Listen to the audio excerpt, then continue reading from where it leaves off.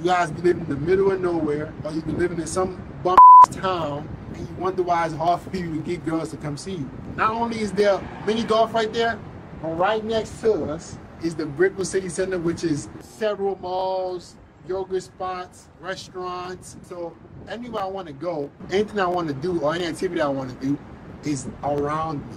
It's gonna save me a lot of time, which would inevitably save people money and make my life easier with chicks. All right, look at this view, bro.